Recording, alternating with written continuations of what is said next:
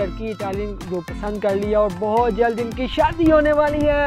तो ये एक आज़ाद किस्म के लोग हैं। जैसा कि यहाँ पे कोर्ट मैरिज करने के लिए लड़कियाँ आठ हज़ार। असलम दोस्तों, क्या हाल चाल उम्मीद करता हूँ सब हैरी से होंगे। मैं हूँ आपका होस्ट अदीज मीर और आप देख रहे हैं हमारा चैनल और आज की जो वीडियो है, ये है इटली शादी के ऊपर। अगर आप भी इटली में शादी करना चाहते हैं तो ये वीडियो आपके लिए है। इससे पहले आपसे रिक्वेस्ट है कि हमारे चैनल को ज़रूर सब्सक्राइब करें बेल आइकन पर क्लिक करें। इस तरह की वीडियोस आपको बहुत ज़्यादा मिलने वाली हैं। आगे भी और मिलती भी रहेंगी। हमेशा हर वीकेंड पे हमारी वीडियो आती है। हमारी कोशिश होती है कि हर वीकेंड में हम एक ना एक वीडियो ज़रूर डालें। हमारे साथ हैं इमरान हमारे भाई हैं। इन्होंने लड़की इटालियन जो पसंद कर लिया और बहुत जल्द इनकी शादी होने वाली है। कंट्रोल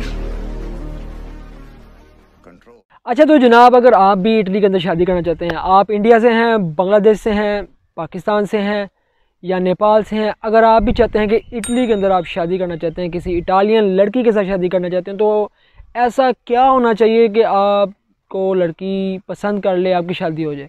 हम भी चाहते हैं कि भाई हमारी भी हो जाए। चलें, आज इस पर डिस्कस करते हैं, आपको बताते हैं कि हमने यहाँ तीन सालों के अंदर क्या ऐसा देखा है, क्या यहाँ का कल्चर है, क्या यहाँ का कानून है? मुस्लिम्स के लिए क्या कानून है और नॉन मुस्लिम के लिए क्या कानून है और लड़कियाँ यहाँ की क्या सोच रखती हैं लड़कों के हवाले से? आइए हम आपको बताते हैं।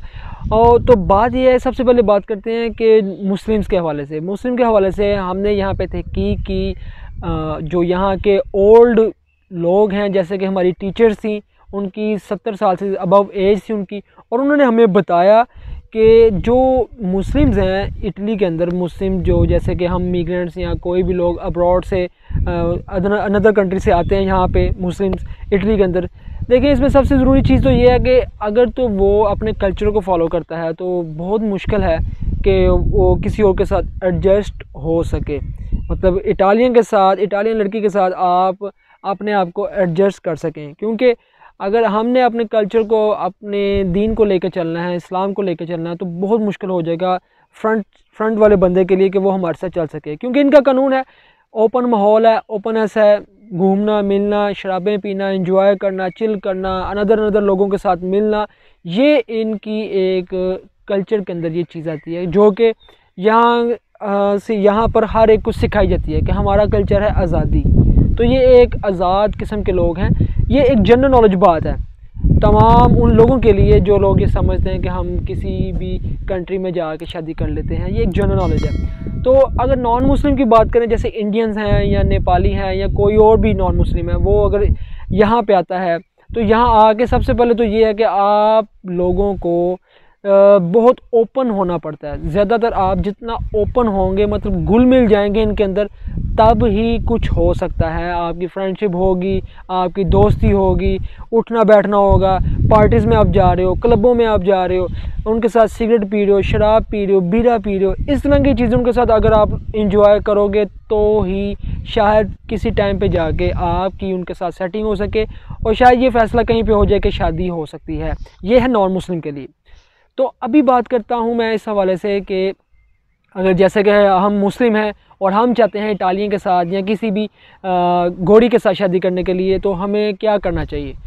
पहली बात तो ये है कि कोई ऐसी लड़की जो आपको पसंद कर ले, आपको चाहती हो, और वो ये हो कि वो कहे कि हाँ जैसे आप कहोगे मैं करने को तैयार हूँ। सबसे पहले तो हम आपको हम उसको इस्लाम में लेकर आएँगे, इस्लाम में दाखिल करेंगे मस्जिद में निकाह होगा। मस्जिद में निकाह होने के बाद अब सबसे पहले निकाह करने के बाद फिर एक इनका कमूना होता है, गवर्नमेंट का अदारा होता है, उस इदारे के अंदर फिर उस शादी को रजिस्टर करना होता है। रजिस्टर करने से पहले आपने अपने पाकिस्तान से अपने पेरेंट्स की परमिशन लेके आनी होती है कि हाँ हमारे पेरेंट्स हमें परमिशन देते हैं कि आप शादी कर लें, और ये भी चीज़ सर्टिफिकेट मंगवाना होता है कि आपके ऊपर कोई केस नहीं है पाकिस्तान के अंदर, और फिर ये भी सर्टिफिकेट मंगवाना होता है कि आपने पाकिस्तान में कोई शादी नहीं की हुई। ये तमाम चीज़ें जब आप मंगवा लेते हैं यहाँ पे अटेस्ट करवा के तो फिर यहाँ पे वो कमूने के अंदर और पुलिस स्टेशन के अंदर ये चीज़ें जमा होती हैं, फिर उसके बाद एक डेट दी जाती है जिस पे दोनों जो शरीकैन है, पहुँचते हैं, लड़की वाले भी, लड़के वाले भी दोनों पहुँचते हैं, वहाँ पे जाके एक दूसरे को रिंग पहनाई जाती है। रिंग पहना के भी शादी होती है, जो कि इनके कानून के मुताबिक यहाँ पे शादी हो जाती है। फिर उसके बाद एज सुन एज पेपरों वाला प्रोसेस होता है, और वो प्रोसेस कंप्लीट होते हुए पाँच माह छः माह, साल भी लग सकता है। ये तरीका है शादी करने का, चाहे मुस्लिम है या नॉन मुस्लिम है, ये तरीका दोनों के लिए हाँ ठीक हो गया। अब हम बात करते हैं इस हवाले से कि अगर नॉन मुस्लिम है तो वो यहाँ पे आता है तो वो अगर चाहता है इसे शादी करना तो कितने परसेंट चांस हैं यहाँ पे उसके लिए शादी करने के? नॉन मुस्लिम के लिए जो लोग यहाँ पे किसी भी कंट्री से आते हैं अगर तो मतलब काफ़ी मॉडर्न है ओपनस है और अच्छा कमाता भी है अच्छा खाता भी है तो उसके हंड्रेड में से नाइन्टी परसेंट चांस है शादी करने के। और अगर हम मुस्लिम की बात करें सौ में से वन परसेंट चांस है किसी का आ, मुस्लिम कंट्रीज़ में से जो कि अपने कल्चर को फॉलो करते हों उनका एक परसेंट चांस है यहाँ इटालियन के साथ शादी करने के लिए। ये हकीकत है क्योंकि ये मैं अपने पास से बात नहीं बता रहा, ये हमें, हमारे टीचर्स ने, हमारे सीनियर्स ने बताया और ये हकीकत यहाँ पे सबके साथ ऐसा ही है कि जिनकी बनी हो, जो साथ लेके चलते हों और आखिर तक जाएँ ज़िंदगी के आखिरी मरहले में भी एक दूसरे के साथ हों, लेकिन बहुत कम बहुत कम है। ज़्यादातर लोग यहाँ पे आते हैं और आके अपना काम वगैरह देखते हैं, अपना काम करते हैं और बस इसी के हवाले से वो आगे बढ़ते हैं ज़्यादा फोकस नहीं करते क्योंकि पता है वो कल्चर की वजह से आपस में मैचिंग नहीं हो सकती। अच्छा हमको सिखा रिया है। तो इसके अलावा एक और बात है जो मैं आपको बता दूँ वो बात ये है कि अगर यहाँ पे कोई कोर्ट मैरिज करना चाहता है कोर्ट मैरिज करने का भी तरीका बहुत ही इंपॉर्टेंट तरीका है बहुत ही अहम है जो मैं आपके साथ शेयर कर, करना चाहता हूँ। वो ये है कि अगर कोई भी यहाँ आकर कोर्ट मैरिज करना चाहता है, या अगर आप अपनी कंट्री में भी हैं, अगर आप अपनी कंट्री में हैं तो आप यहाँ आके कोर्ट मैरिज करना चाहते हैं तो वो भी हो सकता है। लेकिन उसके लिए आपका रेफरेंस होना यहाँ बहुत ज़रूरी है। एक आपका रेफरेंस हो, आपका कोई दोस्त यहाँ पे हो, जो आपको, जिसको, जो गारंटी दे कि हाँ मैं आपकी फ़लाँ फ़लाँ लड़की से कोर्ट मैरिज करवा सकता हूँ। जैसा कि यहाँ पे कोर्ट मैरिज करने के लिए लड़कियाँ आठ हज़ार नौ हज़ार यूरो भी दस हज़ार यूरो तक भी लेती हैं जो शादी करवाती हैं। लेकिन ये एक ए, ये एक ऐसी चीज़ है कि जो कि इतनी ओपननेस नहीं है ना किसी को अवेलेबल है हर किसी को कोर्ट मैरिज करना ना कोई ये करता है। बहुत कम लोग हैं जो कि कोई मजबूर हो तो वो कोर्ट मैरिज करते हैं यहाँ पे नौ दस हज़ार यूरो दे के जो कि अमाउंट के अंदर अगर बात करें पाकिस्तानी बीस लाख रुपए बनते हैं या इंडियन की बात करें दस लाख रुपए बनता है। तो इस तरह से ये अमाउंट होती है तो वो कोर्ट मैरिज भी यहाँ पे हो सकती है। लेकिन बहुत कम ऐसा देखने को मिला है, इतना ज़्यादा ओपननेस नहीं है ये चीज़। कोर्ट मैरिज का तरीकाकार ये था जो मैंने आपको बताया है, इसके लिए आपका रेफरेंस होना बहुत ज़रूरी है। और इसके अलावा एक और बात है कि अगर आप यहाँ पर आपका अपना कारोबार है, आपने यहाँ पे अपना कारोबार स्टार्ट किया हुआ है, आपका अपना एक बिज़नेस है, आपके पास गाड़ी है, घर है, सब कुछ है, तब भी आपको यहाँ पे इटालियन लड़की इजीली मिल जाती है शादी करने के लिए।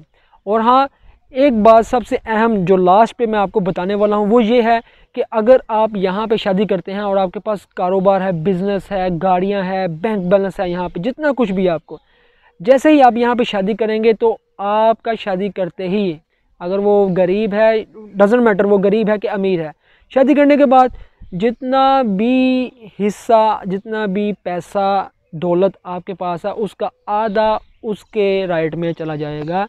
ये यूरोप का कानून है। सो इस वजह से यहाँ पे बहुत ज़्यादा लोग शादियाँ नहीं भी करते। ये कल्चर है, ये बहुत ज़्यादा ये यहाँ पे इम्प्रूव हो चुका है। बहुत कम है जो फैमिली बेस के अंदर यहाँ पे शादियाँ होती हैं, लेकिन यहाँ के जो लोकल लोग हैं डेट्स वाई के यहाँ पे शादियाँ नहीं करते। They they don't interest in marriage dates why the reason is that after that they will give half on property like another things ये एक मेन रीज़न है जिसकी वजह से शादी नहीं करते। सो so, हम एशियंस ये ये चीज़ सोचते हैं पाकिस्तान में बैठ के इंडिया में बैठ के नेपाल बांग्लादेश में बैठ के ये चीज़ सोच रहे हैं कि हमें कोई गोड़ी मिल जाए कोई गोड़ी आए एशिया में आए और हमें गोड़ी साथ ले जाए और हमारे साथ शादी करे हमारा बैंक बैलेंस घर सब कुछ बना दे। ये सिर्फ़ हमारे जहन के एक तस्वुर होते हैं, एक ख्यालत होते हैं, जो हम भी अपने मुल्क में, अपनी कंट्री में बैठ के सोचते थे, लेकिन हकीकत में कुछ भी ऐसा नहीं है। हकीकत ये है, जो मैंने आपको बता दी है। यही हो रहा है, यही सब कुछ हो रहा है। उम्मीद करता हूँ आपको ये वीडियो बड़ी पसंद आई होगी। दोस्तों के साथ ज़रूर शेयर करें और मुझे दें इजाज़त। मिलते हैं हम अगली वीडियो में। तब तक के लिए अल्लाह हाफिज़।